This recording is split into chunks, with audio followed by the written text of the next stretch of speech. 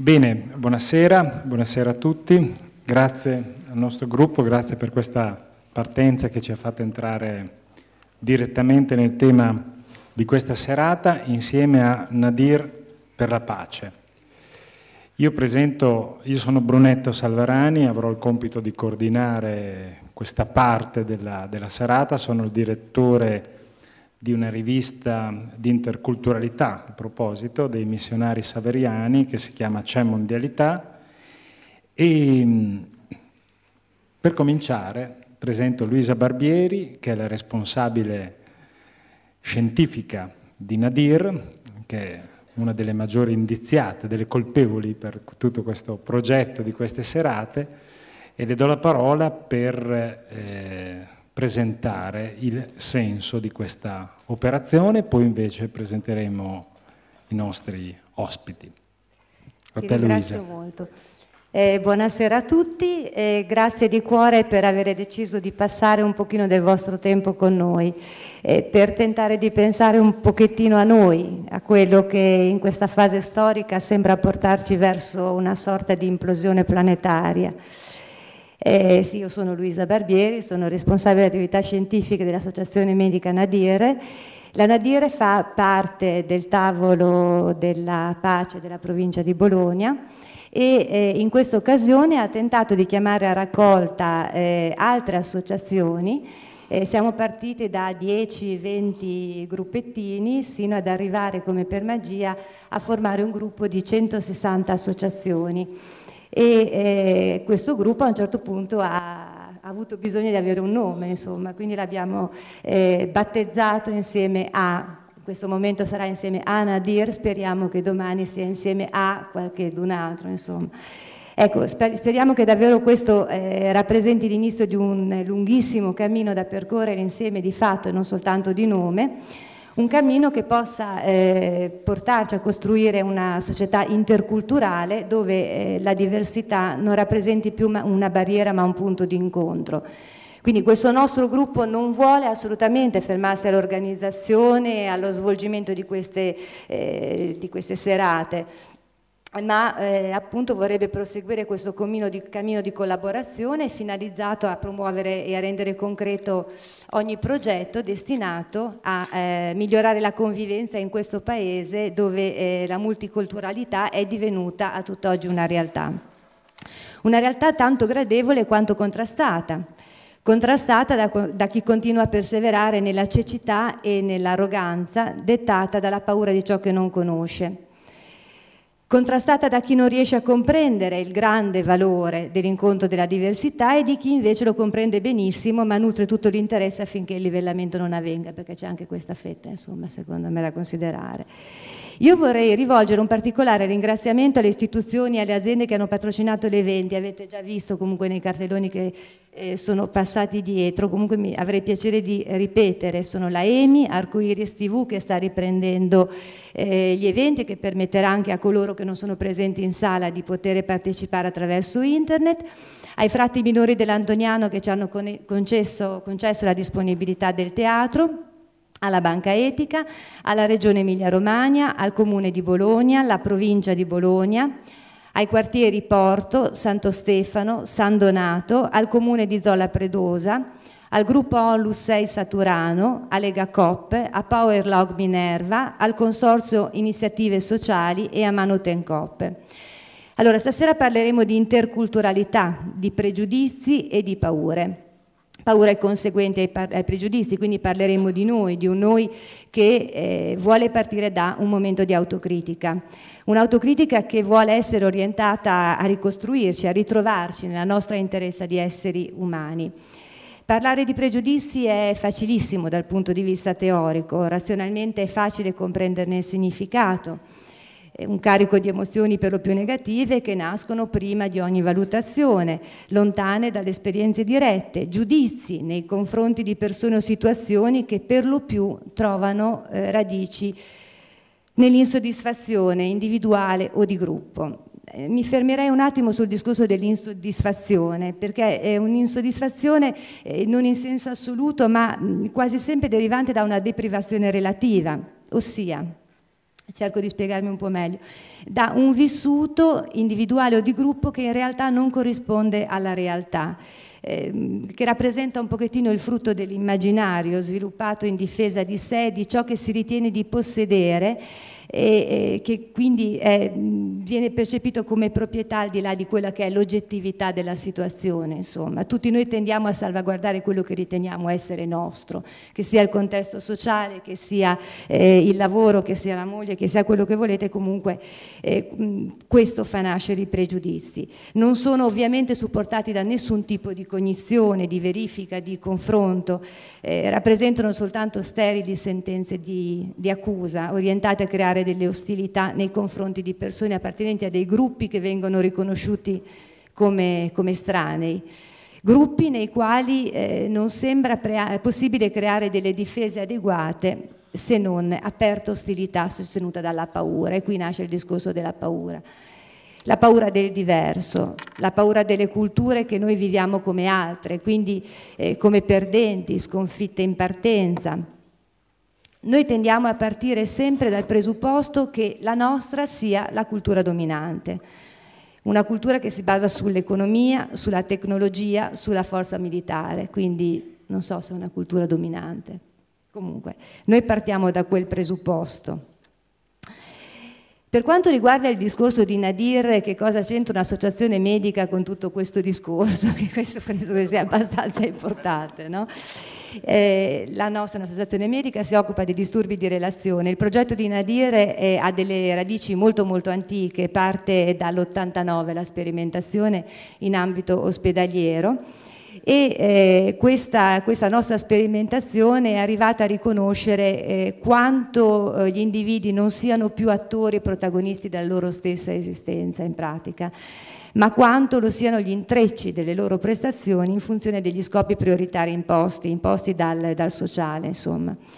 Le relazioni interpersonali arrivano a, ad evitare il contatto, l'intimità, l'emotività, a schiacciarla e quindi consegue la rinuncia, la rinuncia alla propria riservatezza, al proprio essere se stessi e eh, da qui ne esce un'enorme difficoltà a riconoscere quello che è il nostro corredo emotivo è quello che poi noi vediamo tutti i giorni in ambito clinico. Insomma, la mia esperienza clinica nell'ambito dei disturbi di relazione, eh, l'espressione eh, clinica più evidente più riconosciuta dei disturbi di relazione sono i disturbi del comportamento alimentare, l'anoressia, la bulimia e l'obesità che noi abbiamo inserito nell'ambito dei disturbi di relazione.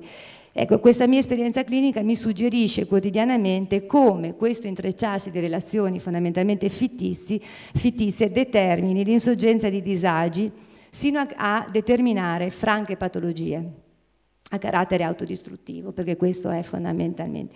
Quindi lo vediamo nell'individuo, lo vediamo proiettato nel sociale. C'è chi mi ha detto una volta tu hai una platea privilegiata, in effetti è vero, perché eh, i nostri pazienti eh, rappresentano un pochettino quella che è la crema di questo contesto sociale. L'autodistruttività che noi vediamo costantemente eh, in ambulatorio, insomma in associazione, a nostro avviso è sostenuta da eh, aggressività non espressa, non, non buttata fuori, insomma, quindi coartata. Però l'aggressività è presente, deve essere presente, deve essere riconosciuta, deve essere accettata e nel momento stesso in cui non viene accettata eh, si esalta, si esalta da, e soprattutto se vi è una chiusura forzosa a cui il soggetto si deve sottoporre. Il nostro contesto sociale in questo modo induce alla chiusura eh, forzosa. Riducendosi così lo spazio espressivo, che cosa succede? Succede che l'individuo e il contesto sociale e il, il, il gruppo che poi forma il contesto sociale tende a ripiegarsi su di sé. Questo che cosa determina? Delle fortissime ripercussioni emotive in quanto quando la funzione che all'individuo spetta come membro impersonale dell'organismo sociale entra in collisione con quello che l'individuo aspira ad essere, si crea del malessere, del disagio individuale e sociale e di gruppo. Si è creata praticamente una nuova forma di schiavitù, una schiavitù che noi chiamiamo tecnologica, che crea un conflitto interiore, che blocca le emozioni e torniamo al solito discorso che induce aggressività. Oltre all'aggressività o conseguente all'aggressività anche tanta paura, tanta paura di non riuscire ad essere ciò che virtualmente il sistema ci impone. Ecco, ed è proprio su questo che il nostro staff medico-psicologico lavora integrando il programma medico rieducativo destinato ai portatori di disturbi di relazione con forti stimoli sociali, eh, eh, l'organizzazione di questi eventi, l'impegno che costantemente noi mettiamo in ambito sociale eh, sino a eh, lavorare nel sud del mondo è una testimonianza del, degli stimoli forti sociali che cerchiamo di dare ai nostri pazienti affinché la loro visuale che eh, obbligatoriamente si rinchiude ad angolo acuto possa in qualche modo riaprirsi eh, verso gli altri, verso il mondo, quindi accogliere e ricominciare a, a, a riaprire una, una sorta di ciclo vitale, insomma. Tutto questo noi abbiamo visto essere piuttosto efficace nel contenitore associativo perché è un contenitore che agisce alla base, per la base, sul territorio e ci dà la possibilità di interagire con altre associazioni. Questa è una dimostrazione concreta nella formazione di questo gruppo. Ci, per chiudere, ecco, ci domandavamo quale strada poter provare a percorrere no? per uscire da questo buco nero. Ecco, noi crediamo che l'unico strumento a disposizione sia quello di ampliare la sfera cognitiva, di fare informazione, maggiore è il numero di informazioni, maggiore è la possibilità di riappropriarsi della libertà di espressione, quindi di scelta e quindi di movimento. Noi anche in ambito terapeutico cerchiamo di fare moltissima informazione, utilizziamo tantissimo per esempio il canale di Arcoiris, no? che è un canale senza censure che ci permette di passare ai nostri pazienti tantissime informazioni sulle quali poi discutere e quindi cercare di aprire un pochettino le nostre, le nostre menti, non solo quelle dei pazienti, perché noi abbiamo bisogno di aprire le menti. Quindi dobbiamo in pratica uscire, cercare di uscire da quella che è l'omologazione sociale, insomma una omologazione sociale, non ho la bella dialettica della nostra attrice, mi incarto un po', sapientemente indotta e condotta dal sistema mediatico, che a mio avviso è la vera arma di distruzione di massa, quello che sta appiattendo il pensiero critico, che ci sta impedendo di utilizzare il nostro cervello, insomma, no? che è così bella, la nostra vera arma. Ecco, eh, e non abbiamo più la possibilità di fare delle esperienze, perché sono tutte esperienze che si basano sul virtuale. Quindi esonerandoci dall'esperienza diretta ci rimane solo quella con la rappresentazione degli eventi. Il problema qual è? Che la rappresentazione degli eventi passa sempre e comunque attraverso il sistema mediatico, il sistema mediatico che, che filtra, filtra ogni situazione, ci passa quello che, eh, che meglio crede, insomma la modifica e induce alla fine un giudizio globale omologato il giudizio globale omologato comporta, eh, determina tutta una serie di comportamenti altrettanto omologati di risposta, insomma. Quindi ognuno di noi alla fine rappresenta ciò che nell'ambito, nell'ambito di una sorta di monologo collettivo l'esperienza della comunicazione globale induce senza alcuna possibilità di formulare valutazioni e giudizi sull'onda della nostra struttura di personalità, di quello che noi siamo come individui. Conseguentemente siamo anche preda di crollo della comunicazione umana che è naturalmente invece con, caratterizzata da contraddizioni, da emozioni, da verità, da bugie, insomma fanno parte dell'animo umano e devono esserci per carità, guai mai non ci fossero ma in questo modo perdiamo comunque eh, la responsabilità di parlare in nome proprio, quindi eh, demandiamo ogni tipo di responsabilità e questo è gravissimo e gravosissimo perché ci allontana dal prendere delle decisioni, dal fare delle scelte e quindi dal vivere liberamente fondamentalmente. Ecco, quindi è quindi la ricerca dell'esperienza diretta, secondo il mio, il nostro parere, la via per riscoprire il valore intrinseco di ognuno di noi inserito nell'intreccio relazionale del sociale. Ed è a questo che il nostro gruppo, adesso il nostro gruppo, il gruppo insieme a, eh, mi sono già impossessata di questo gruppo pur non volendo, ecco, eh, lo sento già molto nostro, ecco, sta tendendo, incontrandoci e collaborando al fine di abbattere le barriere mentali e relazionali che eh, impediscono la comprensione del valore della diversità la possibilità di creare una cultura integrata in grado di arricchirci sia come individui che come gruppi. Devo dire che eh, questi sei mesi di lavoro che hanno portato ci hanno portato qua stasera e sabato prossimo e domenica al parco dell'ex manifattura tabacchi al centro eh, sociale Giorgio Costa è, è, già stata una grandissima vittoria perché in effetti in questi mesi eh, siamo stati insieme, ci siamo conosciuti e sono partite tantissime eh, relazioni e tantissime idee. Credo che tutto, tutto sommato questo sia già un grandissimo successo, almeno per quanto, per quanto mi riguarda. Eh, volevo ricordare che, questa è una, una, una cosa di, di, di, servizio che mi hanno detto di dire, che eh, i, i, CD che troverete all'uscita e che sono assolutamente in omaggio contengono le letture e eh, le informazioni riferentesi ai, ai, seminari, ai seminari, alle serate che eh, stiamo conducendo, quella di stasera sull'interculturalità, quella di sabato che vertirà sull'Africa e come affrontare le missioni in Africa, la presenza di padre Alex Annotelli e di di, del professor Silvio Pampiglione. Ripasso la parola a Brunetto. Un applauso, eh, anche perché dovete sapere che Luisa, io l'ho incontrata due orette fa, era tesissima per questa. E, e avete visto come man mano che passavano i minuti diventava più spigliata rispetto a questi temi che, come avete colto, hanno anche una loro complessità. E, però è stato importante partire da qui e partire da qualcosa di eh, già vissuto, da un'esperienza reale. Io presento i nostri ospiti, a questo punto devo presentare chi non c'è, anzi fare le scuse di chi non c'è, che è Pierluigi Sullo, direttore di Carta, che non vedete e che non è qui per eh, sopraggiunti motivi professionali, ha promesso che verrà un'altra volta, per ora lo salutiamo e siamo dispiaciuti, ma in compenso abbiamo due ospiti di eccezione. Per cui alla mia destra ho Lisa Clark dei Beati Costruttori di Pace che viene da Firenze e anche solo per questo meriterebbe un grande applauso. E Firenze merita comunque un grande applauso. Poi lei spiegherà la sua storia eventualmente. Non so se Imperia merita applausi, ma comunque insomma, eh, la provincia sì, insomma, ci sono delle cose importanti in provincia di Imperia, tra queste cose c'è eh, Anza Roberto Piccardo, che è qui alla mia sinistra, che è portavoce dell'UCOI, cioè dell'Unione delle Comunità e Organizzazioni Islamiche in Italia, e è qui per l'occasione, quindi ai noi anche lui applauso. Ora una rapidissima presentazione di questa mm, tavola rotonda, chiamiamola così, mm, ridere della paura, fobie e pregiudizi in una società interculturale. Io mi limiterò a due sottolineature.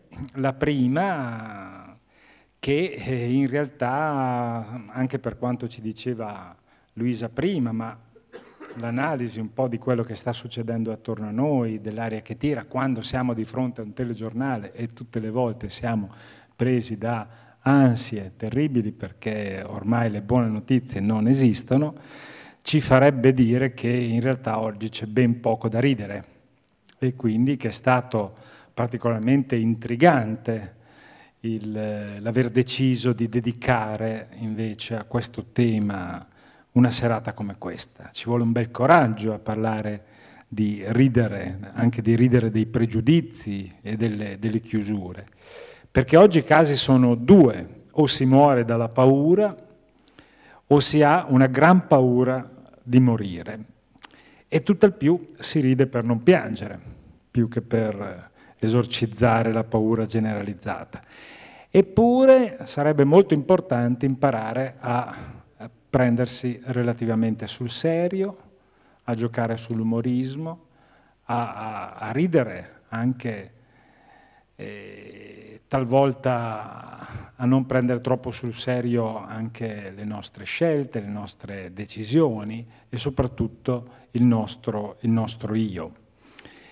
E, mh, oggi le religioni sapete che sono tornati in home page, come si dice, in prima pagina, hanno molto successo, da una parte si parla di rivincita di Dio, dall'altra parte però hanno anche una cattiva stampa, soprattutto alcune religioni, non farò dei nomi, però insomma credo che ci capiamo. E allora io per, per eh, alludervi generalmente ricorro a una storiella irlandese che vi riciclo per l'ennesima volta, ma che di solito funziona, vediamo un po', che dice abbastanza bene l'aria che tira, una, non c'entrano i musulmani, quindi per una volta ti tengo fuori, anzi.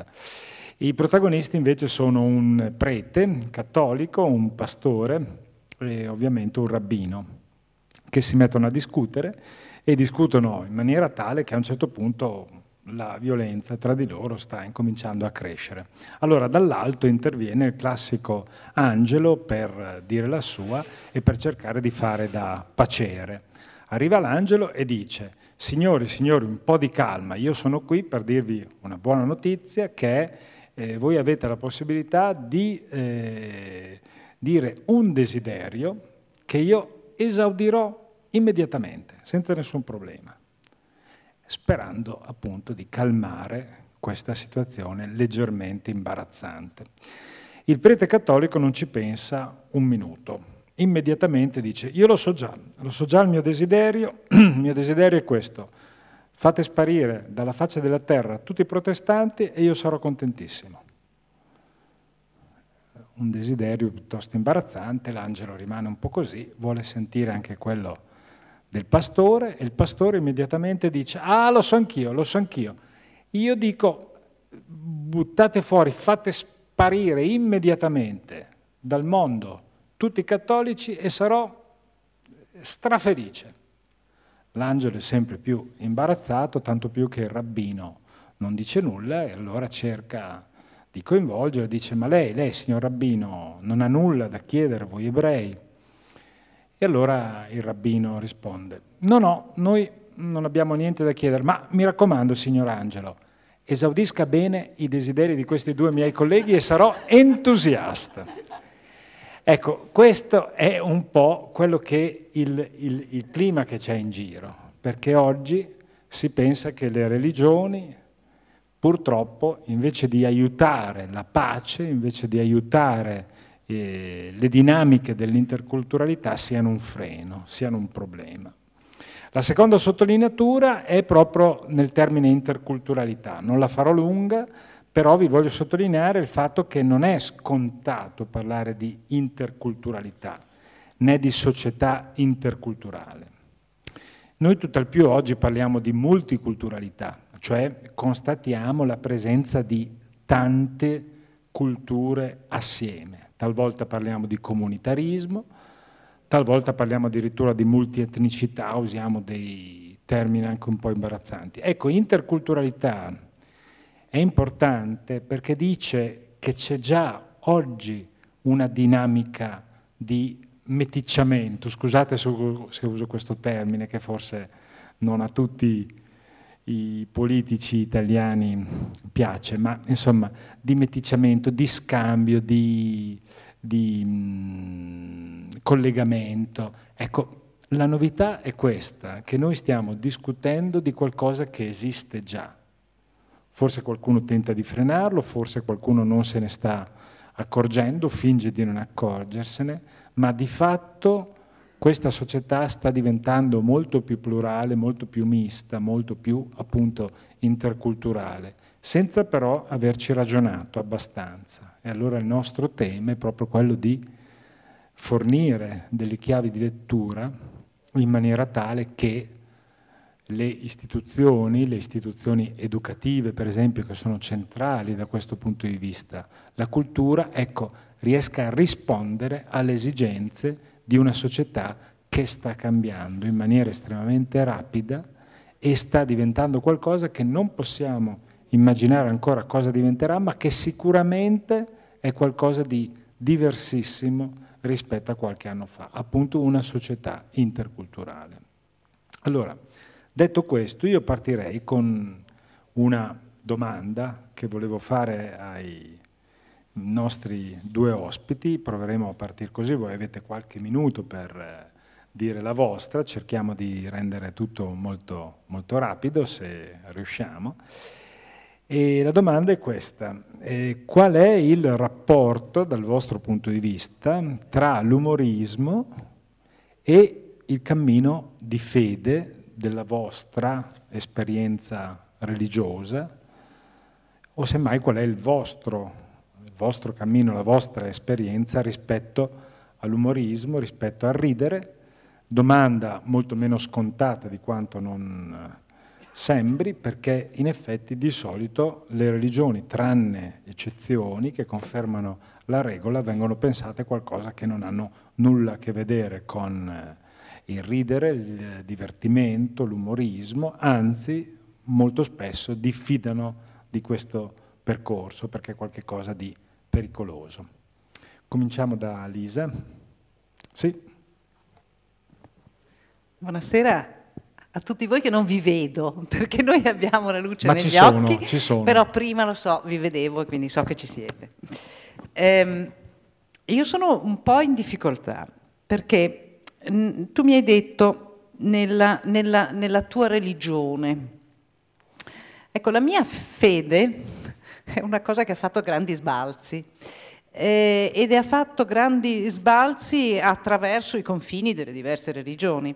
Eh, per, fare, per, per, spiegarmi un pochino meglio devo forse cominciare un minimo con storia, eh, una storia di famiglia. Ehm, il, da parte di mia madre. Io sono statunitense e eh, la famiglia di mia madre, a livello di bisnonni, erano ebrei arrivati dall'Europa centro-orientale, non sappiamo neanche bene dove, ma insomma probabilmente quello che adesso è Cecoslovacchia o Polonia, così. E si erano stabiliti nella, sulla costa orientale come tantissimi degli ebrei che arrivavano negli Stati Uniti nell'Ottocento, eh, dove da bravi ebrei facevano i banchieri e a un certo punto uno dei figli minori decise di andare anche lui verso ovest, era il momento in cui gli statunitensi andavano a ovest a conquistare l'ovest, e andò a, stabilirsi in Oklahoma, lo stato dell'Oklahoma, che è veramente uno dei posti più tristi al mondo, nel senso che è un'estensione di deserto e a quell'epoca ancora non avevano scoperto che sotto quel deserto c'era molto petrolio. E, eh, però lui andò lì perché forse voleva affrancarsi un attimo dall'influenza del padre molto potente, dei fratelli maggiori, andò lì e fondò la prima First City Bank, Oklahoma City Bank, la prima banca da bravo banchiere.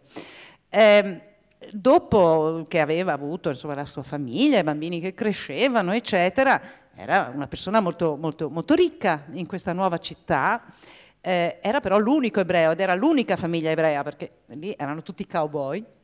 E eh, cominciarono gli altri a trovare il petrolio nel giardino, non lui, ma gli altri, forse perché non l'ha neanche cercato, tanto i soldi non gli mancavano, faceva il banchiere, ma eh, gli altri trovavano il petrolio nel giardino e diventavano ricchi. Eh, siamo tipo 1880, roba del genere, già il petrolio significava, significava qualcosa, non quello che avrebbe poi significato dopo nel, nel, XX secolo, però. E eh, le persone che cominciavano a diventare ricche si, si fecero, cioè si, cominciarono ad esserci le classi a Oklahoma City e eh, uno dei passatempo delle persone più facoltose era il club del golf dove in mezzo al deserto, con tutti i soldi che avevano, avevano uh, fatto dei prati verdi e giocavano a golf. E naturalmente il mio trisnonno, quello che era, non, non, non, so esattamente contare tutte le generazioni, voleva naturalmente, lui era il banchiere, era ricco, voleva far parte del club del golf. E andò lì e disse io e la mia famiglia diventiamo parte del club del golf. E questi gli dissero eh no, eh no caro, sarai ricco, su questo non abbiamo dubbi, ma sei ebreo, puoi mica entrare nel club del golf nel, in Oklahoma da ebreo. Lui non fece storie, entro un mese la famiglia era convertita, la mia famiglia è una famiglia cristiana adesso. ecco, vedete, eh, quindi credo che, mm, non, non, credo neanche che fosse particolarmente unica la mia famiglia eh, nel fare una cosa del genere a quell'epoca. Eh, rimasto moltissimo già con tutte le generazioni che si sono succedute. Eh, la mia mamma eh, rimane in lei fortissimo, pur essendo stata allevata più o meno da cristiana, protestante, episcopaliana, eh, rimane fortissimo la cultura ebraica. Rimane fortissimo in noi la cultura della barzelletta ebraica che è una cosa straordinaria. Ora, noi in Italia abbiamo Monio Vadia, ma è, è, è forse davvero religio- l'unica religione in cui veramente si ride di se stessi delle proprie, e delle proprie credenze e delle proprie abitudini. Eh, posso raccontare anch'io una barzelletta. Due rabbini che erano stati compagni di scuola si incontrano dopo lungo tempo che non si vedevano e si salutano e uno fa all'altro, ma come vai? Come sta la tua famiglia? E tuo figlio? E l'altro gli fa, taci, mio figlio, che dispiacere, sai? Il mio figlio era proprio la gioia del mio cuore, è diventato cristiano. E il primo gli fa, ma che coincidenza, proprio a me lo dici. Anche il mio figlio, il mio figlio maggiore, anche lui si è convertito al cristianesimo. Andiamo a sentire il rabbino capo, l'anziano, se ci può dare qualche aiuto su questo. Vanno dal rabbino capo, dal, dall'anziano, e lui ascolta le loro storie e dice, ma che coincidenza, proprio a me lo venite a dire. È successa la stessa cosa a mio figlio. Anche mio figlio si è convertito. E allora, insomma, va avanti, essendo una barzelletta ebraica, va avanti a lungo, eh, ma a un certo punto decidono, beh, chiediamo al Signore, il Signore ci risponderà. gli fanno tutta la domanda, il cielo si apre, ma che coincidenza, proprio a me lo chiedete.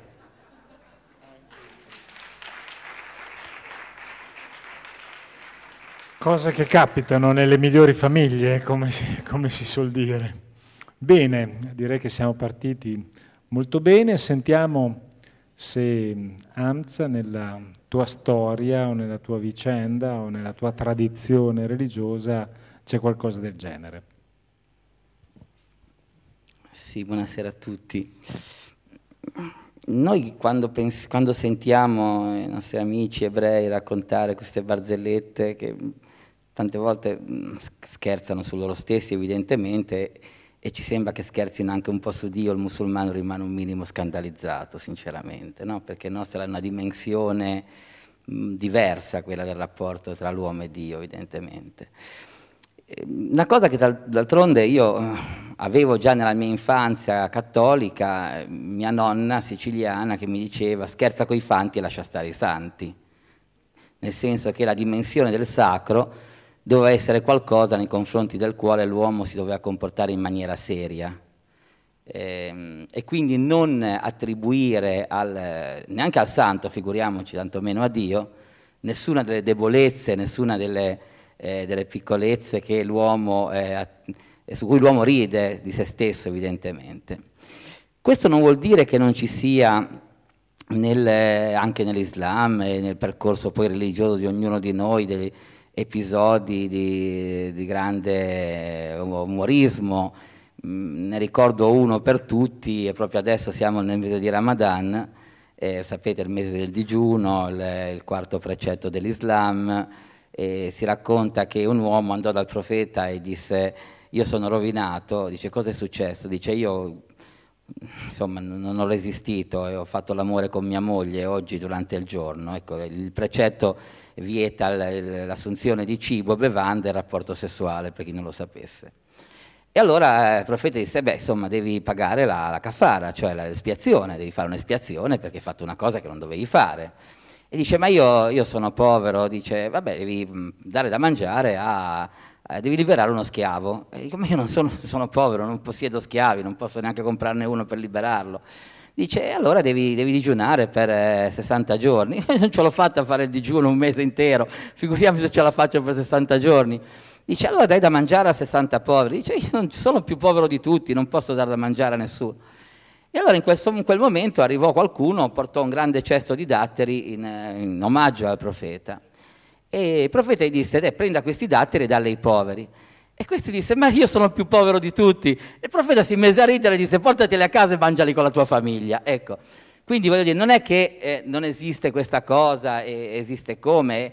Eh, la storia racconta di uno degli uomini più, più seri eh, e anche timorati di Dio nella storia islama, Omar ibn Khattab, il secondo califfo, che era, eh, il profeta diceva, quando Shaitan, cioè Satana ti incontra, cambia strada, tanto era un uomo severo, forte, austero, e, raccontano che un giorno un uomo che era in qualche maniera oppresso da una moglie santippe, insomma una moglie eh, pesante che lo, lo rimproverava lo, lo, in qualche maniera in continuazione, andò a casa di Omar per dirgli cosa poteva fare, se poteva divorziare, insomma non ne poteva più.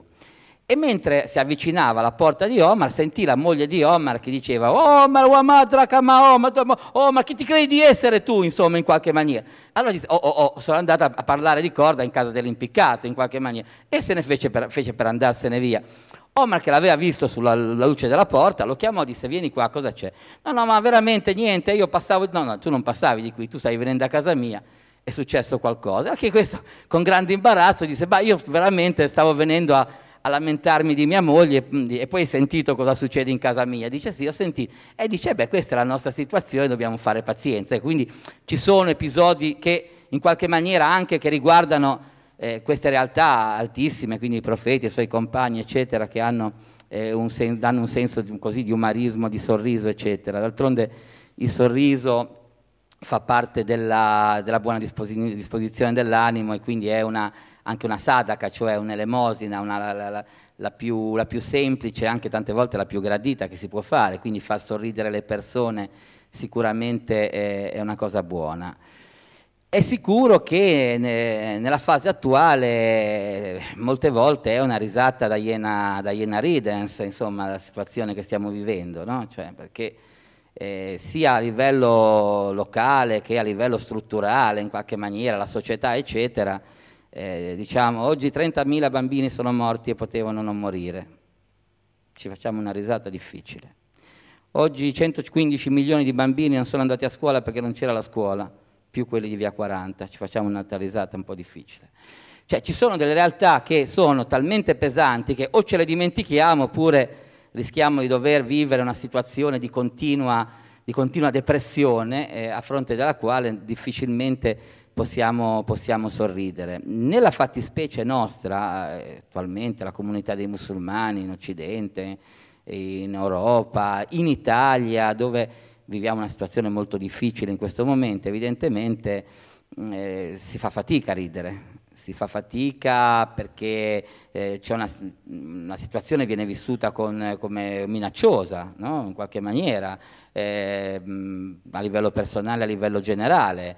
Eh, forze di governo non, non, hanno paura ogni giorno di eh, violare tutte quelle che sono le leggi contro la discriminazione religiosa, discriminazione razziale, eccetera, creando i presupposti per episodi poi gravissimi, l'ultimo di una bambina eh, marocchina, italo-marocchina di Biella che è stata aggredita, gli hanno inciso una svastica sul braccio, una ragazzina di 12-13 anni, queste cose qua, quindi mh, non c'è dubbio che i mandanti di tutto questo siano in, in, alcune forze politiche, quel signore di cui parlava che siede alla seconda carica della Repubblica, purtroppo speriamo le prossime elezioni ci rilevino, che ci fanno finire di vergognarci in Europa di questa gente. Ecco, la situazione è un po' questa, quindi eh, riuscire a ridere ci si riesce soltanto a condizione di avere in fondo al cuore una grande serenità, che non è quella del molti nemici, molto onore, per carità, per carità, ma è quella di dire essere credenti vuol dire testimoniare ogni giorno con, con tutta la propria capacità. Se riesco a testimoniare quello che io sono, ed è una testimonianza di, eh, che non è aggressiva mai, ma è di verità, anche se talvolta è molto scomoda e a volte costa caro dire le cose che si ritiene siano giuste, molte volte si sbaglia evidentemente, ma lo si fa anche in buona fede. Ecco, e in questo senso si riesce a mantenere una, non dico una risata interiore perché sarebbe troppo, però un certo sorriso, un, un certo sorriso nel cuore che fa sì che in qualche maniera possiamo mettere un po' di aria tra noi e le cose, con un pochino di, di, di uno spazio di, di, umorismo, uno spazio di, eh, allontanarsi da, da, quella che è l'insulto quotidiano di almeno 5 o 6 giornali, eh, di almeno 20 o 30 giornalisti, che ci fa in qualche maniera sorridere sulla miseria di chi eh, in questa maniera eh, pensa di ottenere vantaggi evidentemente eh, scaricando su una comunità che eh, sicuramente la più debole in maniera molto maramaldesca, ora non siamo uomini morti e non ci stanno uccidendo, siamo vivi e vegeti, grazie a Dio, ben diverso dalla storia vile tu uccidi un uomo morto, però sempre maramaldesca è o vigliacca perlomeno, pigliarsela con i più deboli, che sono stranieri, che sono deboli culturalmente, che sono deboli socialmente, che non hanno protezione politica. Bah, domani forse la Turchia in Europa sposterà un pochino gli equilibri e forse da 15 milioni di musulmani in Europa diventeremo 85 milioni, forse avremo un pochino più di, eh, di protezione, potremo sorridere un po' di più. Bene, grazie. Ti annuncio che sarà dopo domani, visto che i tempi, i tempi sono un pochino lunghini di questo ingresso, però insomma no, no, ma ognuno, esatto, siamo on the road. Bene, ehm, allora siamo entrati un po' nel, nel tema, io adesso vorrei pigliare l'altro corno, il discorso sulla paura che è molto diffusa. Noi oggi, dicono i sociologi, viviamo in una età dell'incertezza, più, più, che ancora della paura, perché ormai siamo all'interno di meccanismi che ancora più di ieri sentiamo di non, di non controllare, o perlomeno temiamo quello che non conosciamo e probabilmente temiamo le trasformazioni, ci sentiamo parte di una società così rapidamente in trasformazione che lo spaesamento probabilmente è l'esperienza che viviamo nella, nella quotidianità. E allora volevo chiedervi, sempre partendo eventualmente da esperienze personali o comunque dall'esperienza del vostro cammino di fede, ecco, se c'è una, una percezione di questa paura, cioè se la paura in effetti è qualcosa che è diffusa ed è diffusa rispetto alle, alle vostre file, diciamo così. E, e, in che senso? E poi così metto accanto alla paura un'altra parola chiave, il pregiudizio. Il pregiudizio, cioè se secondo voi ci sono dei pregiudizi, sono dei pregiudizi diffusi, in che senso, nei confronti di chi o di cosa, perché il primo passo per eh, superarli è probabilmente riconoscerli. Ed è molto difficile farlo, ovviamente qui diamo delle, così, delle pennellate naturalmente, però è già importante che riusciamo a distanziarci e a leggere un po' dal di fuori in questa operazione che talvolta tecnicamente si chiama di decostruzione, per ricostruire qualcosa anche di diverso e passabilmente di migliore. Lisa. Io credo che la paura che molte persone sentono genuinamente in Italia di questi tempi sia costruita d'arte. Eh, prendiamo semplicemente l'esempio di lunedì scorso a Roma, dell'esercitazione antiterrorismo a Roma di lunedì scorso. A che cosa serviva? Serviva, secondo me, anche per infondere la paura nella popolazione. Il popolo impaurito è più facile da dominare, è più facile con un popolo impaurito dire abbiamo bisogno di essere più duri, più repressivi, di limitare le libertà, io è un po' che ci rifletto su questo, della situazione italiana. Io ho vissuto negli anni 90, durante la guerra di Bosnia, ho vissuto in Bosnia. Ho vissuto a Sarajevo per quasi tre anni, a periodi alterni, ma anche in tutto il resto della Bosnia ho girato molto durante la guerra. E io sono giunta a una conclusione che non so se è corretto, non so se storicamente verrò provata a aver avuto ragione o no, perché per qualsiasi sia stata la ragione che ha fatto iniziare i massacri di Bosnia, e su questo si scriveranno libri nel futuro, senz'altro ci sono le colpe del, di, di, Milosevic, ci sono le colpe dei croati, ci sono le responsabilità internazionali e bla bla bla. E tutto questo c'è. Chi ha cominciato, chi ha continuato, eccetera. Ma c'è un fatto della guerra di Bosnia, che è un fatto che sul terreno ho visto, toccato, conosciuto con mano, che è un fatto innegabile e che qualcosa ha trasformato vicini di casa in assassini reciproci da tutte e tre le parti.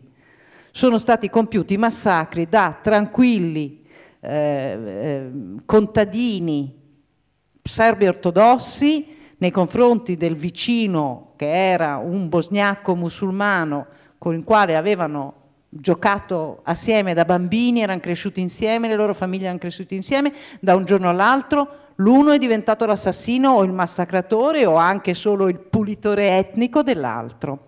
E questo in tutte e tre le direzioni, in tutte e tre le direzioni.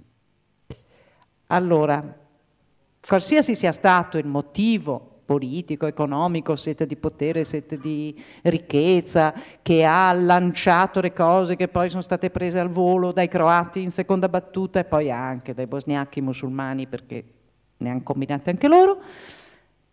Qualche cosa ha trasformato i tranquilli bosniaci di tutte e tre i gruppi etnici in assassini e quel qualcosa è stato eh, la strumentalizzazione della paura. Eh, è stato fatto uno studio da un giovane eh, ricercatore inglese che io ho conosciuto quando ero in Bosnia, che lui ha fatto uno studio dei mezzi di informazione, principalmente serbi e croati, in quei due o tre anni che vanno dal 91 al 94. Ha dimostrato che il modo di distorcere le notizie partendo da magari una mezza notizia vera, di distorcerla era sufficiente per trasformarla in una propaganda che poi è diventata una propaganda sempre più martellante per cui le persone hanno davvero pensato lo devo uccidere prima io, prima che lui uccida me. Questa è la Bosnia. Ora, in Italia, vabbè, la situazione è un po' diversa, per carità, e, e probabilmente l'obiettivo di chi vuole far impaurire gli italiani e rinchiuderli e arruolarli nello scontro di civiltà è principalmente lo, lo, un obiettivo nazionale, di politica nazionale, su questo non, non, sì, vabbè che abbiamo mandato i carabinieri a Nassiria a fare la guerra, ma non credo che sia questo l'obiettivo di questa politica italiana di oggi che vuole spaventarci, ma vogliono spaventarci per meglio dominare, perché non ci sia più dissenso, perché si accetti qualsiasi cosa, perché non ci siano le persone che alzano la voce eh, contro quello che, va, quello che, si va, facendo in questo paese. Eh, ma in fondo non è che sia tanto diverso, non è che sia tanto diverso e da questo abbiamo bisogno, abbiamo bisogno di reagire, di non, di non lasciarci eh, buttare giù in questo modo. Io credo che ci sia anche un altro elemento. Eh, noi, noi, che cerchiamo di seguire il percorso della non violenza nell'analisi dei problemi e quindi nel tentativo di trovare la soluzione, partiamo sempre dalla critica in primo luogo di tutto quello che viene fatto male, di sbagliato in nome nostro, quindi prima di criticare l'altra parte, sempre quella che consideriamo la nostra. E allora io, visto che ormai mi ritengo una cristiana e abbastanza, anzi anche forse abbastanza vicino alla, alla fede cattolica in questi ultimi 15 anni, direi così, devo dire che abbiamo bisogno in questa Chiesa cattolica italiana di fare un po' di chiarezza, abbiamo bisogno di ritornare un po' a che cos'è il, mes- il messaggio che ci dà Gesù.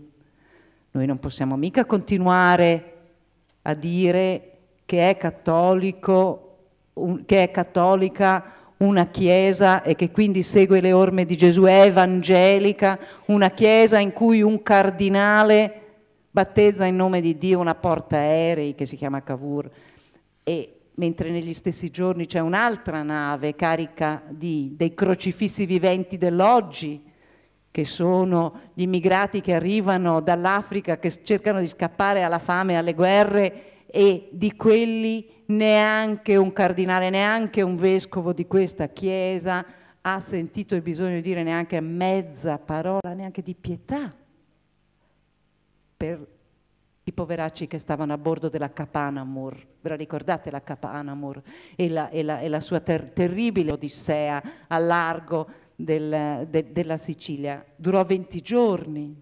In 20 giorni, sapete quanto tempo c'è stato per qualcuno della nostra Chiesa che si richiama a Cristo di dire qualcosa, ma nessuno ha detto niente, tranne i soliti noti, Alex Zanotelli, insomma, eh, quelli che stanno tra di noi ma le gerarchie della Chiesa in quegli stessi giorni hanno solo preparato il battesimo ufficiale di una nave da guerra. Di una nave da guerra. La portaerei non può essere altro che una nave da guerra. Credo che abbiamo bisogno su questo di fare delle riflessioni. E quando il cardinal Ruini al funerale dei carabinieri morti a Nassiria povere persone, assolutamente, che hanno tutto, tutta la nostra solidarietà, loro morti e le, e le loro famiglie, ma non erano costruttori di pace. Con, con, quale, con quale lettura o mislettura, misinformazione evangelica il cardinale Ruini può permettersi in una cerimonia, in una basilica a Roma, di dire i nostri veri costruttori di pace, a meno che non, stesse, non volesse dire non sono i beati costruttori di pace, l'associazione di Padova non sono quelli, ecco, questi sono i nostri. Ma eh, io, io, trovo, trovo che, che, che, veramente abbiamo bisogno di, eh, di fare delle, delle, profonde riflessioni, anche quelli di noi eh, che, che cercano di identificarsi nel nel percorso di Gesù e tutto questo ha a che fare con pregiudizi, ha a che fare con costruzioni di paure ed ha a che fare con la trascendenza, con il modo in cui noi pensiamo che con il messaggio di Gesù eh, noi vogliamo costruire un mondo diverso in cui i poveri cristi sono quelli con cui camminiamo a fianco e non eh, la Padania bianca e cristiana che chiude le porte a quelli che sono i crocifissi dell'oggi. Grazie anche perché ci ha aiutato a ricordare questo grande rimosso della guerra nella ex Jugoslavia, che in effetti è uno degli avvenimenti che sono capitati a pochi chilometri da qui, a un mare di distanza da qui e su cui non c'è stata una riflessione successiva dal punto di vista politico, dal punto di vista ecclesiale e questo in effetti è molto grave, è molto grave. E poi ti confesso anche personalmente per la, quella citazione della omelia del Cardinale Ruini, perché mh, credo che la ricordiamo un po' in tanti, forse tutti, perché è parsa un po' un via libera ad un modello di chiesa e di religione rispetto alla quale dopo si è capito che si, si, sono aperte tutta una serie di porte, quelli che oggi vengono chiamati i sostenitori della religione civile, del cattolicesimo religione civile, quella religione che rispetto a un tempo quando si diceva Cristo sì, Chiesa no, forse vi ricordate, adesso si dice Chiesa sì, Cristo no, ma Chiesa in che senso? Nel senso di una adesione ad una tavola di valori presuntivamente condivisi perché le nostre istituzioni civili sentono di non averle più. E allora nel momento in cui non eh, ci sentiamo partecipi di un progetto, di un qualcosa di comunitario, allora andiamo a pescare a quella specie di risorsa, di produttrice di valori che riteniamo essere la Chiesa, in questo caso la Chiesa cattolica. È una tentazione, esattamente come quelle che ha vissuto Gesù di Nazareth nel deserto di Satana ed è una tentazione pericolosissima che credo vada denunciata con molta fermezza e quindi grazie anche per il tono che hai usato ma anche con la chiarezza con cui ce l'hai ricordata. Eh, Amza, a te. Ma lui era l'ordinario militare, quindi evidentemente non poteva fare un altro discorso. sì. Prima era l'ordinario militare, non era stato ordinario militare? No? Ma. Sì, ma il problema è, non è quello, infatti. La creazione del nemico e quindi accettare eh, questa mentalità eh, fa venire in mente un esempio che faccio spesso, se, quando si, si, qualcuno volesse pigliarsi la casa del suo vicino e quindi non ha la forza, ed, educa i suoi figli nell'odio per il vicino, e dicendogli da piccoli il vostro vicino vi guarda male, prima o poi vi aggredirà, e qualsiasi cosa succede, la, la bicicletta sgonfiata, la riga sulla macchina, il pallone che è sparito, si dà la colpa al vicino e alla fine gli si dice che questo qua sicuramente un giorno ci entrerà in casa, vi farà del male a voi, a vostra madre, a vostra sorella se un giorno qualcuno se la piglia col vicino, anche sicuramente i figli di questo signore diranno finalmente non se ne poteva più di vivere con questa minaccia vicino. E quindi vuol dire che si crea proprio, si inventa il nemico e quando si è inventato il nemico non c'è più bisogno di dimostrare che è cattivo, è nemico.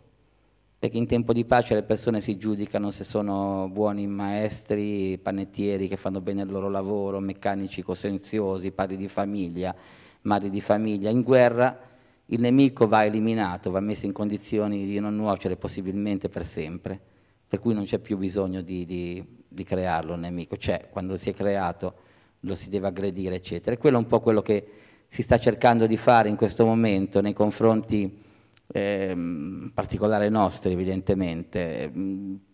Qualcuno dice perché siamo noi, non lo so, può darsi, semplicemente perché siamo su un cammino di, di potenza, di un, di, di un, allargamento di potenza, se fossero degli altri probabilmente sarebbe la stessa cosa, non è che eh, io dico soltanto perché siamo musulmani ce la pigliano con noi, in realtà non è questo. In Italia in particolare siamo, siamo borderline, siamo una terra di frontiera, una terra nella quale noi avevamo sperato che potesse essere un ponte come lo è naturalmente, geograficamente, tra le due sponde del Mediterraneo e diventasse un ponte sul quale le, le, la gente si incontra. E i ponti sono una cosa molto bella e importante in tempo di pace, in tempo di guerra i ponti si fanno saltare. Abbiamo visto, vengono bombardati, vengono minati, anche quelli più belli, anche quelli più storici, il ponte di Mostar, eh, Lisa se lo ricorderà sicuramente. Perché il ponte è una minaccia in guerra, ci si può passare sopra, andare dall'altra parte, quindi sia gli uni e gli altri hanno interesse a isolare, farlo saltare, bisogna che le comunicazioni diventino difficili, quindi l'Italia come ponte deve essere in qualche maniera destabilizzata perché non ci deve essere contatto, non ci deve essere la possibilità dell'incontro. Mm, questa è una, una, una, cosa pesante che noi ci rendiamo conto, la comunità lo sente fortemente, quindi la domanda sulla paura della comunità, eccetera, lo sente. Io eh, negli ultimi due o tre anni, eh, con un crescendo sempre maggiore, sento gente che dice noi stiamo pensando di tornarcene al paese, qua non si può più vivere, non si potrà più vivere qua, non potremo educare i nostri figli, non siamo sicuri per i nostri figli qua eh, dice no ma guardate che mm, forse mm, non è proprio così, è la stampa che agita molto, una parte di essa purtroppo tanta, però la, gente non è così, i vostri vicini, i vostri colleghi di lavoro, i compagni di... La, la, gente non è così, lo sapete, sì sì è vero che la gente oggi non è così. E questo mi, mi, mi ricollega a quello che raccontava Lisa prima, cioè se, quando si crea la paura, eh, la paura diventa uno strumento per... Ehm, peggio che la divisione per, per comandare. Quando si crea la paura, chi in qualche maniera ti protegge dalla, da, da, da, dalla minaccia che, ti sta agitando, che sta agitando sopra di te, lui stesso diventa il tuo salvatore, non importa il prezzo che devi pagare. Mai e poi mai qualcuno rinuncerà a un diritto se non eh, per qualche cosa di più importante.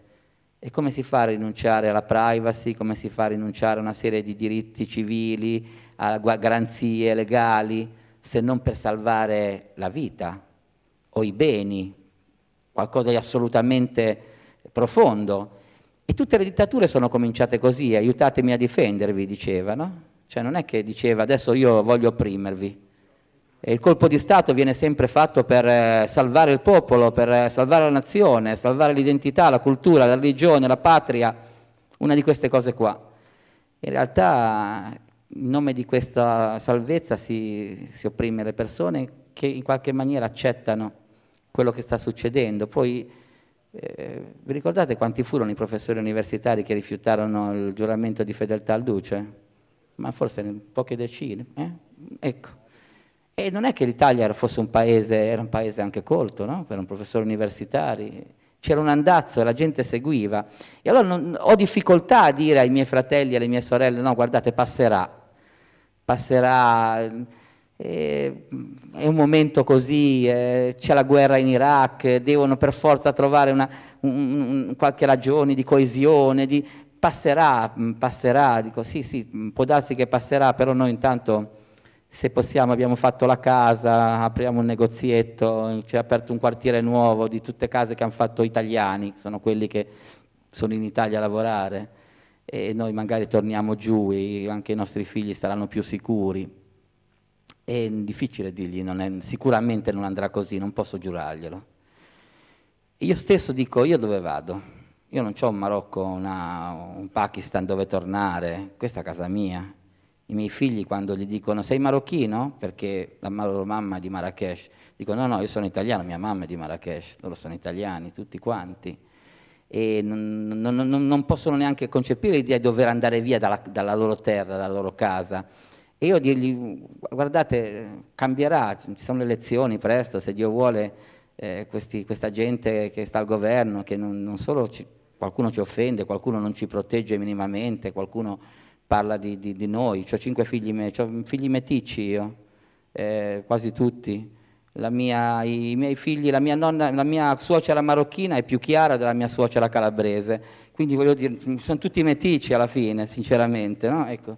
e, e, quindi e, quando sento il Presidente del Senato che dice le cose che dice, ecco questo l'allievo di Popper, buon Dio, Popper, che ha fatto Popper?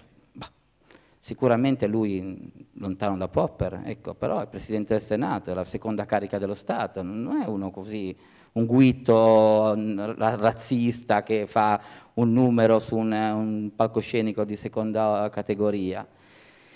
E in questa situazione mi rendo conto che la paura e il disagio che le comunità vivono in questo momento è tangibile. Le, le, la, la, storia di Via 40 eh, l'avete seguita tutti quanti e non c'è nessuno di voi che non è stato deviato dalla, da, da, come è stata mistificata la storia di Via 40, che sicuramente non era una realtà tra le migliori, eccetera, ma non era certo questa abiezione, non era il ritorno a Candarar, non si insegnava la violenza, si, era una scuola mm, non più sgarruppata di molte scuole, tipo io speriamo che me la cavo, e quindi in realtà mh, mm, si potevano trovare percorsi per, eh, pensando a quei bambini, non pensando all'ideologia di ognuno per, per, imporre il fatto che la scuola deve essere laica, non devono andare qui, per carità. Bisognava trovare, trovare, maniere. Allora, di fronte a tutti questi casi, la ragazzina di Biella, la scuola di Via 40, eh, questo pestato di là, quelli di là, il sindaco di, di, Treviso che non lascia andare in giro la gente con il vestito lungo perché dice chissà cosa nascondono sotto. Cosa nascondono sotto? Quello che c'hanno. Ma è normale, come tutti quanti. Ecco, allora, di fronte a queste situazioni, che poi sono anche istituzionali in qualche maniera, non è un micro partito razzista che dice queste cose, sono, in qualche maniera sono anche istituzionali, sono, sono eletti, sono, sono, istituzioni che si comportano in questa maniera, c'è un, un grande senso di disagio. E per assurdo, quelli che lo provano di più sono quelli che vivono qui da più tempo, perché si erano illusi sulla, sul paese, sull'apertura, sulla democrazia, sulla possibilità di inserzione quelli ultimi arrivati già erano massacrati a casa loro, sono massacrati anche qua, non gli fa grande differenza. Però in realtà, quelli, a parte il fatto che gli avevano raccontato delle storie diverse, bah, si sa poi la menzogna di Ulisse, l'immigrato a casa racconta se, quando torna a casa racconta sempre delle storie. A fronte di questa situazione qua, io credo, eh, da qualche anno sto dicendo a tutti i nostri amici, eh, credenti e non credenti, grazie a Dio ne abbiamo tanti, eh, dobbiamo alzarci in piedi, non per difendere noi, per difendere tutti quanti. La diminuzione dei diritti di una parte della comunità è una diminuzione dei diritti di tutta la comunità. Nel momento in cui si accetta che qualcuno possa essere discriminato, non nei fatti, ma quasi per legge, allora evidentemente si crea una situazione molto grave, è finito il patto di, di uguaglianza, sul quale si basa la democrazia stessa. E se non c'è il patto di uguaglianza, in, qual... in nome di cosa si chiede la lealtà? In nome di cosa noi possiamo dire a, a, ai nostri radicali, e tutti quanti ne hanno, non dovete, dovete essere leali, dovete rispettare le leggi, dovete rispettare, dovete, non, dovete, non dovete pensare neanche l'aggressività, non dovete pensare la violenza, non dovete pensare la reazione, perché c'è uno Stato democratico che vi tutelerà. Se dicono, ma come, se il ministro dice che i bambini musulmani non devono andare a una scuola islamica, ma non è scritto nella Costituzione che tutti quanti hanno diritto di fare scuola privata? Come mai i bambini musulmani non devono? eh, ma c'è qualcosa che non va. Si potrà fare una scuola, se non, è, se non è logisticamente a posto, la mettiamo a posto, cioè, mettiamo a posto i servizi, cioè, troviamo degli altri spazi, tro, cioè, troviamo delle soluzioni. Eh, invece no, sembra che bisogna chiuderle e basta perché bisogna essere, fare una politica musclée. Eh, se uno pensa e dice stupidaggini, viene espulso in maniera violenta, creando uno shock nella comunità, ma che ha detto? Se quattro amici si siedono intorno a un bar, a un tavolino di un bar, e cominciano a discutere, e uno dice che gli piacerebbe tanto tornare al potere temporale dei papi, e l'altro parla no, che sicuramente la cosa migliore sarà lo Stato corporativo fascista, il terzo dice la dittatura del proletariato sicuramente è la cosa migliore, c'è un quarto che dice ma chi, cosa dite voi della Repubblica Islamica? Tra, arrivano i carabinieri e lo mandano via. Eh, com'è questa storia? E perché? Perché è sospetto di terrorismo. Beh, insomma, il terrorismo è una cosa grave, ci fa paura a tutti. Se è sospetto venga inquisito, venga giudicato e non che lo si manda via così. È il secondo caso. Il terzo caso è quello della rappresentanza. Sembra che i musulmani non abbiano diritto a scegliere i loro rappresentanti, perché qualcuno li deve scegliere per conto, loro, per conto loro, perché non sono maturi, non sono democratici, non sono abbastanza colti e quindi le autorità penseranno a noi, soltanto a noi non penseranno ai buddisti, non penseranno agli induisti, non penseranno a nessun altro, penseranno a noi e ci creeranno uno strumento che informerà le autorità di quello che siamo, di quello che non siamo, per carità. E allora quello che diciamo a tutti quanti e continuiamo a dirlo, la parola negata, il diritto conculcato, la rappresentanza fittizia, sono strumenti, sono quelli che creano un'acqua fetida nel quale nuotano pesci pericolosi che ci possono aggredire in qualsiasi momento, a tutti quanti, a tutti quanti. E allora prosciugare quest'acqua fetida e pulire, ripulire, cioè addirittura non crearla, ma se c'è prosciugarla, credo che sia fondamentale per fare quell'attività di, di, prevenzione delle, della violenza che può scoppiare in qualsiasi momento, e mai questa parola può, è così pregnante come adesso, e ci può far saltare per aria tutti, frequentiamo le stesse strade, saliamo sugli stessi autobus, le stesse metropolitane, noi, voi, tutti quanti, corriamo lo stesso rischio. Allora, se questa minaccia c'è, da qualunque parte venga, operare perché questa minaccia ci sia meno, quindi con, rinforzando tutte quelle che sono le garanzie della democrazia, credo che sia la cosa migliore. Questa frase che ho trovato recentemente di Beniamino Franklin, quando disse chi rinuncia alla libertà e alla democrazia in nome della sicurezza non ha diritto né all'una né all'altra. Ecco. Mi sembra che questa sia una lezione importante. Allora questo che ci sembra di poter chiedere a tutti quanti, musulmani, non musulmani, credenti, non credenti, tutte le persone che hanno a cuore in qualche maniera la democrazia, che ci sia uno scatto. Uno scatto che non è soltanto uno scatto elettorale, lo scatto elettorale passa e va, non ci basta dare la fiducia un anno, una volta, in un giorno, per poi, per... bisogna che ci sia una partecipazione nuova, bisogna che possa nascere nel Paese una nuova, una nuova coscienza che sia attiva, vigilante e che possa mantenere questi valori costituzionali che vent'anni fa ci sembrava di poterli superare e adesso preghiamo Dio che ce li mantenga.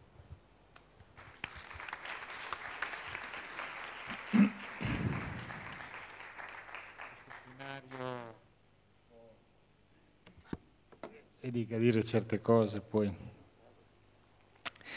E, no, uno scenario diciamo, abbastanza inquietante sul quale si potrebbe anche discutere, vediamo se riusciamo ad avere tempo anche per farlo. Io però volevo dire due cose. Una a proposito della paura che eh, nei prossimi giorni, il 28 ottobre, sarà celebrata un po' in tutta Italia la quarta giornata ecumenica del dialogo cristiano-islamico, che è un'esperienza dal basso, un'esperienza in cui molti che sono qua hanno dato una mano e che per sapere di cosa si tratta potete andare a visitare un benemerito sito di Monteforte Irpino, Avellino, www.ildialogo.org, che avrà come slogan eh, vincere la paura per costruire la pace, perché proprio siamo lì e questi sono i temi, sono le questioni. E la seconda cosa, anche per eh, che rimanga nella memoria e anche perché poi non è stata diffusa tantissimo rispetto a questo tema a cui alludeva in filigrana Amza, cioè il tema della consulta islamica, Volevo dire che eh, di fronte a questa ipotesi, questo progetto concreto del ministro Pisano, è uscito una, um, un documento, eh, io credo abbastanza importante, che eh, dice è importante che la consulta islamica si faccia, è importante che la consulta islamica sia rappresentativa e quindi che dentro ci siano coloro che di fatto hanno dei rapporti, delle relazioni, delle storie, delle vicende rispetto a questa ipotesi di Islam italiano. Lo dico perché personalmente ho firmato questo documento ed è una linea che approvo in pieno Insieme a me l'hanno firmato altri, da Paolo Naso, che è il direttore di Confronti, a Paolo Branca, che è docente all'Università Cattolica, a Franco Cardini, a Stefano Lievi, cioè molti che in questi anni hanno lavorato con le mani in pasta rispetto a questo tema. È una lettera aperta al ministro Pisano e speriamo che in un qualche modo ne tenga conto, ma era importante mandare questo messaggio, perché in effetti il rischio è che poi ci riempiamo molto la bocca di questi temi come il dialogo e poi concretamente vediamo che tutto è fermo, è ferma l'intesa, qualsiasi eh, progetto di intesa con l'Islam, è ferma la legge sulla libertà religiosa eh, già da parecchio tempo. Sono ferme troppe cose rispetto a un tema come quello delle religioni da coniugare al plurale che ci stiamo rendendo conto come è cruciale per il futuro di questa democrazia, se vuole essere tale.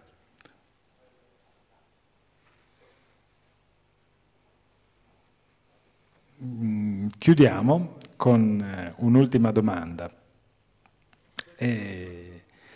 Un'ultima domanda che eh, prende ulteriormente per le corna questo tema dello scontro di civiltà e volevo chiedervi anche per lasciare con un seme di speranza, perché è importante che nonostante l'analisi così impietosa che abbiamo fatto e che credo sia corretto fare, perché non, non si, si deve edulcorare troppo la pillola. Ecco, però vi volevo chiedere dal vostro punto di vista qual è l'itinerario, quali sono le piste, quali sono le strade possibili per uscire da questo clima così duro, per uscire da questo schema di pensiero che al di là del libro di Huntington, che poi hanno letto pochissimi in realtà, ma citano tutti, lo scontro di civiltà, è diventato così il, il grande fantasma, il grande schema mentale contro il quale dobbiamo combattere.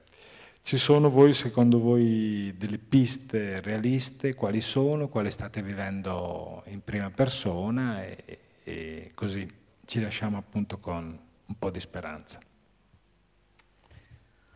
Grazie, volevo solo aggiungere una cosa quando tu dicevi prima di tutte quelle leggi ferme Che miracolo, però ce n'è una che è andata avanti, che è quella che esonera tutti gli edifici di proprietà della Chiesa Cattolica, anche di quelli a scopo commerciale, dall'ICI e lo fa in modo retroattivo. I nostri comuni dovranno restituire alla povera Chiesa Cattolica 15 anni di ICI eh, sugli ostelli, sui luoghi, su, sui palazzi dei convegni, centri convegni, queste cose qua. Scusate. Eh, quindi quella è andata avanti, questo basta però. Adesso guardiamo invece al positivo e diamoci speranza, come, come ci chiede Brunetto. Eh, io credo che ci siano, beh, ci sono, per me ci sono tantissime cose, tantissime storie, tantissimi eventi, proposte, azioni che mi danno speranza in continuazione. Eh, vi ho detto prima che io sono statunitense, da statunitense davvero è dura, è dura essere statunitense ed è dura trovare motivi di speranza, mi direte. Nessuno è perfetto. e invece non è vero, non è vero. Eh, ultimamente, beh, avete tutti seguito la storia di Sandy Sheehan, la mamma del soldato ucciso in Iraq, che semplicemente ha detto io voglio che il presidente Bush mi dica per quale nobile causa è morto mio figlio e si è accampata lì davanti tutto il mese di agosto davanti davanti alla sua residenza estiva a Crawford nel Texas. Adesso ha annunciato che siccome Bush torna a Crawford nel Texas per le feste del ringraziamento di fine novembre, lei ci torna, eh, anche se piove. Comunque nel frattempo è stata a Washington, è stata anche arrestata insieme a 370 altre persone perché facevano un bivacco di fronte alla Casa Bianca. In modo ancora più serio e che mi, che mi tocca più il cuore, eh, stiamo vedendo come le vittime e i familiari delle vittime, è partita questa cosa in Israele e Palestina con un gruppo che si chiamano eh, il cerchio delle, dei parenti, dei genitori veramente era originariamente, parents in inglese nel senso di genitori, genitori in lutto. E sono persone israeliane e palestinesi che hanno perso, originariamente erano, avevano perso i figli, poi invece adesso sono, di, siccome si è allargato moltissimo, anche un membro, una persona cara, in, in, in un'azione o di un'azione di terrorismo suicida oppure un'azione da parte dei militari israeliani, in tutti i sensi o anche dei civili israeliani coloni. E questi si mettono insieme e all'insegna dello slogan non vogliamo che nessun altro soffra più quello che stiamo soffrendo noi adesso, si mettono insieme e fanno delle cose straordinarie con la pazienza delle formichine dal basso, che in fondo tutto quello che anche noi, anche voi, tutte le associazioni che stanno qui, io sono sicura, è questa la nostra metodologia. Noi non abbiamo i grandi proclami politici, non abbiamo tutto questo, noi costruiamo le nostre cose sulla relazione interpersonale, sul conoscersi, sull'andare in Africa e conoscere le persone lì, sul costruire reti di solidarietà tra le persone. Credo che queste sono le cose che ci danno speranza. Allora, cosa hanno fatto per esempio quando, dopo le Torri Gemelle, si è costituito all'inizio con un nucleo piccolissimo di famiglie che avevano perso una persona cara nelle Torri Gemelle l'11 settembre 2001, si è costituito l'associazione che si chiama Peaceful Tomorrows. Eh, è un domani plurale, per dei domani di pace. È una citazione da Martin Luther King, che abbiamo sentito anche prima, la cosa bellissima di Martin Luther King, è una citazione di un altro pezzo, eh, credo di quello stesso discorso, in cui Martin Luther King dice le guerre sono proprio degli, dei mediocri scalpelli, proprio inadatti per scolpire dei domani di pace, l'immagine dello scultore, del creatore, molto bella. Ecco, questi adesso sono centinaia di famiglie, delle famiglie dei 3.000 morti delle Torri Gemelle, sono più di 200 famiglie che si sono unite in questo. E, e il loro slogan è Fai quello che vuoi, Presidente Bush, ma non ti azzardare a dire che lo fai in nome del nostro caro che è morto nelle Torri Gemelle e parlano, alzano la voce su questo. Sono stati, per esempio, subito dopo, nel 2002, appena, nel, all'inizio del 2002, appena iniziato i bombardamenti sull'Afghanistan, sono stati lì e si sono messi accanto alle persone dell'Afghanistan che subivano i bombardamenti che Bush voleva che fosse in nome del, eh, per, per, vendicare i loro morti, i loro, i loro parenti morti. Queste sono reti, sono le reti del futuro e sono le reti che secondo me ci permetteranno di avere un segnale di speranza. E volevo chiudere raccontandovi di una persona che ho conosciuto qualche settimana fa, perché credo che Luisa ama l'Africa, io amo l'Africa, molti qui che conosco amano l'Africa e credo che l'Africa abbia in tutte le sue parti, con tutte le sue culture, le sue civiltà diverse, abbia una freschezza, una creatività che ci potrà aiutare a tirarci fuori da, queste, eh, da, da, queste, da questi secchi in cui, in, cui, in cui ci troviamo adesso. La persona che ho conosciuto è un vescovo, un vescovo della Chiesa Cattolica del Malawi e si chiama Thomas di nome, in effetti il cognome non lo so, non l'ho mai saputo. Lui si presenta semplicemente come vescovo Thomas.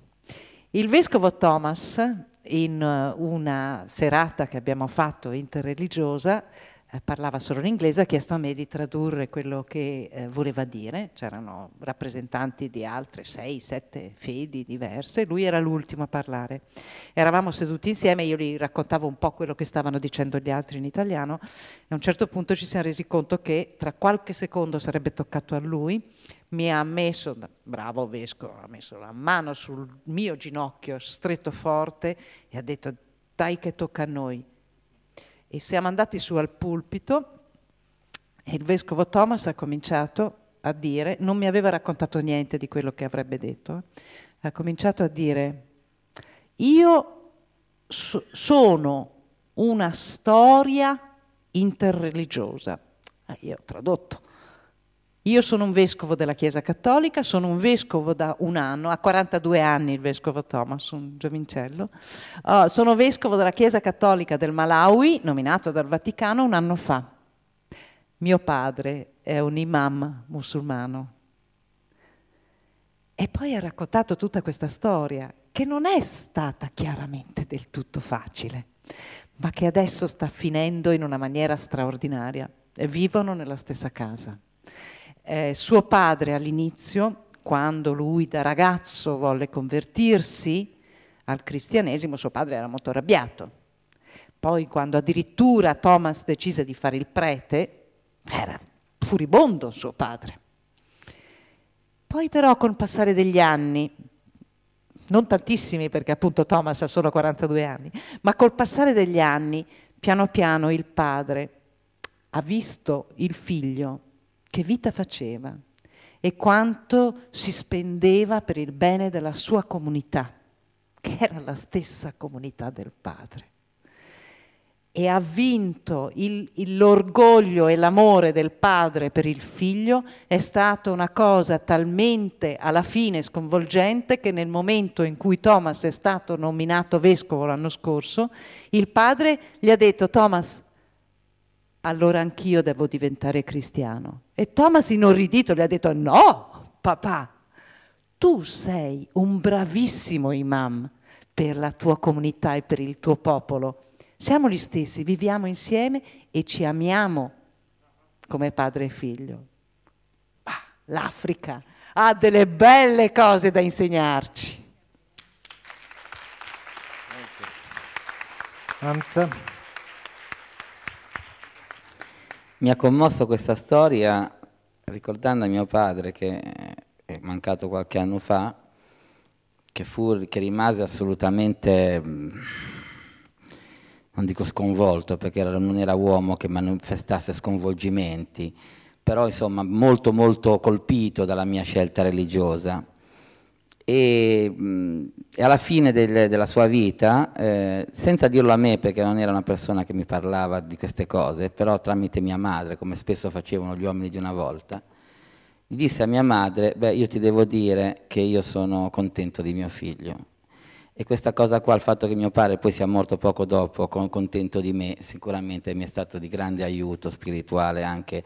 Ero sicuro della mia scelta, però il fatto che lui l'avesse accettata era molto importante. Ecco, questo, questo come collegamento alla storia del vescovo Thomas in qualche maniera. Io credo che ci siano percorsi, eh, e noi ne stiamo facendo qualcuno, percorso importante. Con Brunetto abbiamo fatto un percorso importante che sono stati gli incontri cristiano-musulmani di Modena, che sono finiti, eh, però non è finita questa esperienza, non è finita questa, questa amicizia che si è creata in quegli anni e, stanno andando avanti altre cose perché è normale, le cose degli uomini non vanno avanti più di tanto, se ne inventano nuove, cambiano le situazioni, cambiano le persone, però eh, quando dieci anni fa, dodici anni fa, cominciamo a parlare di dialogo interreligioso all'interno della mia comunità, eh, era una cosa difficile da far passare. Eh, si diceva che non c'era possibilità di dialogo, o loro diventavano musulmani oppure non, che dialogo dobbiamo fare, insomma. Noi abbiamo ragione, loro ci hanno torto, cioè, il massimo del dialogo che possiamo fare è spiegargli perché devono diventare musulmani, poi per il resto non se ne parla. E, invece piano piano, e addirittura chi parlava in questa maniera rischiava di essere accusato di eh, tiepidezza, opportunismo e tutto quanto. E piano piano è passata, grazie a Dio è passata e oggi non, non c'è praticamente associazione musulmana in Italia che non faccia dialogo interreligioso. E le giornate del dialogo che hanno preso avvio con eh, l'appello che fece eh, pa il Papa Giovanni Paolo II a Assisi eh, nel 2001, quando disse invitò i cristiani a digiunare nell'ultimo venerdì di Ramadan in solidarietà con, eh, con, i musulmani, chiedendo che questa condivisione di questo sacrificio fatto per amore di Dio potesse un, unirli in un progetto comune di convivenza, di, di conoscenza reciproca, eccetera, è andato avanti.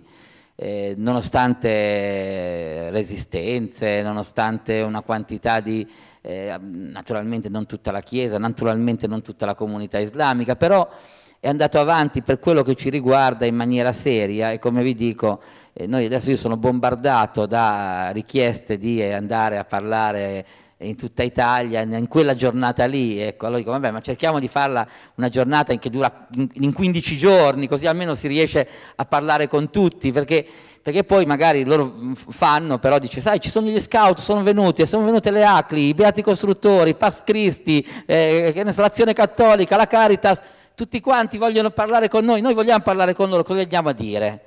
Ecco, allora è, chiaro che una comunità è fatta per il 95% da stranieri, che è qui da poco tempo, anche la media dei musulmani è qua da 7-8 anni, difficoltà di l'uso della lingua proprio, tutto quanto, per cui però c'è dentro profondamente, è passato, e questo credo che sia un, uno dei percorsi più importanti che questo lo troveremo davanti a Dio, questo lavoro che abbiamo fatto, se Dio vuole, perché l'abbiamo fatto veramente con l'intenzione che eh, la gente si conoscesse.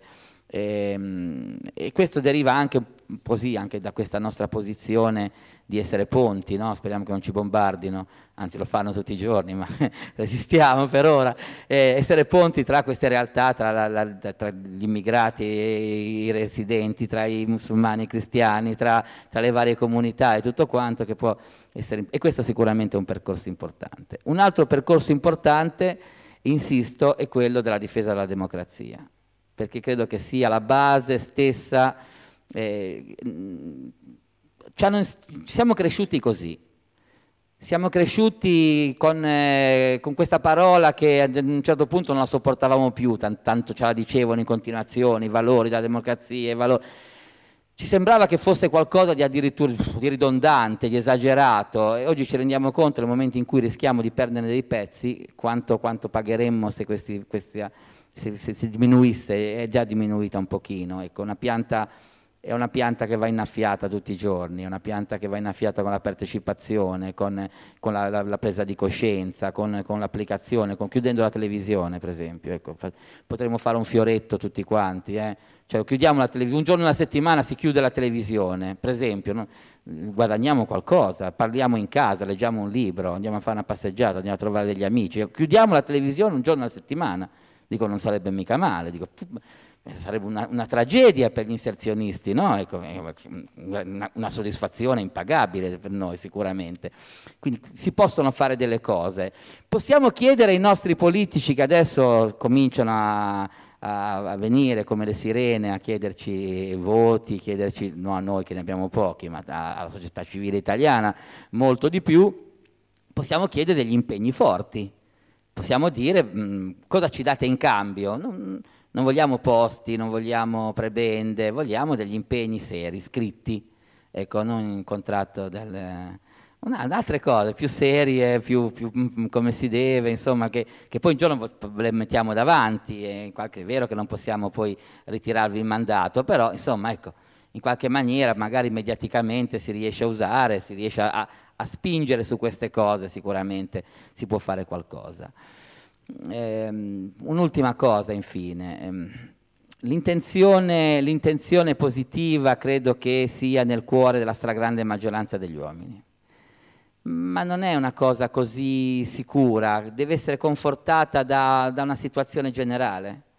E se questa situazione generale contribuiamo tutti a, a realizzarla, credo che possa poi trasformarsi in azione, in azione quotidiana, quello che, che possiamo fare. E, noi da, da, credenti diciamo che eh, non è importante il risultato che otterremo, però è importante sicuramente lo sforzo che facciamo, coerente, per ottenerlo e in questo senso eh, credo che sia una, una, cosa che possiamo fare tutti quanti, credenti e non credenti, musulmani e cristiani, uomini di buona volontà in generale, e nel rapporto fra noi costruire, costruire questo percorso eh, che, che, diventa veramente un antemurale a tutti quelli che vogliono usare gli uomini come carne da macello, quelli che accendono i fuochi, ma ci dice il Corano Dio spegna i fuochi e siamo noi strumenti, siamo noi pompieri se vogliamo esserlo. Grazie, grazie davvero per questi suggerimenti, per queste idee, per queste buone pratiche. Come vedete ce ne sono parecchie, ce ne sarebbero anche altre. Io direi che dobbiamo chiudere questa, questa parte, io mi prendo l'incarico come Presidente di chiuderlo con un'altra storia, è una storia tratta dal Talmud ed è una storia che ci proietta molto in avanti perché si pone un problema non da poco che è quello chi, chi entra, su chi entri nel regno dei cieli. Non so se Elisa tu ti sei mai domandata chi, chi entrerà nel regno dei cieli. Io spesso, ed è per questo per esempio che di solito in casa abbiamo un posto libero, perché potrebbe arrivare il profeta Elia, sai che il profeta Elia è quello che dà il segno che si chiude, allora non si sa mai che non venga e non trovi un posto, un piatto, due maccheroni, insomma si riesce a recuperarli. Allora questa domanda se l'è posta anche il Talmud, spesso, e c'è in particolare una storia che mi sembra bella per chiudere questa riflessione che è stata originata dal discorso sul ridere dei pregiudizi per superarle, poi come avete visto è saltato fuori tanto di più, anche tante storie molto, molto belle, molto piacevoli. Il protagonista di questa storia è un rabbi che si chiamava Baruchà di Huzza, Baruchà è Benedetto, quindi rabbi Benedetto, quindi omonimo del più noto papa recentemente assunto al trono di Pietro, al soglio di Pietro, che andava spesso nella piazza del mercato di Lapet, più o meno era un parente dei tuoi, insomma la zona era quella lì. Là un giorno gli appare il profeta Elia e allora Rabbi Baruch ne approfitta e gli domanda, guardando la piazza del mercato brulicante di gente, fra tutti questi uomini ce n'è almeno uno che avrà parte al mondo futuro? Elia però risponde, nessuno, nessuno di questi avrà parte nel mondo futuro. Ma più tardi, nella piazza del mercato, arrivano due uomini ed Elia allora torna a chiedere a Rabbi Baruchà. Anzi, ed Elia che dice a Rabbi Baruchà, guarda, hai visto quei due là? Quei due lì avranno parte al mondo futuro. Quei due lì entreranno. Allora Rabbi Baruchà, stupitissimo, si precipita dai due nuovi arrivati e chiede loro, ma scusate, qual è la vostra professione? E allora loro, a loro volta stupiti, rispondono, noi siamo due buffoni. Quando vediamo qualcuno che è triste, lo rassereniamo e quando vediamo due persone litigare, cerchiamo di farle riconciliare. Questa è la storia, ma il Talmud conclude molto argutamente dicendo che ognuno di noi nel mondo futuro sarà chiamato a rispondere di tutto ciò di cui ha potuto godere in questo mondo e ha scelto di non goderne. E quindi buon godimento.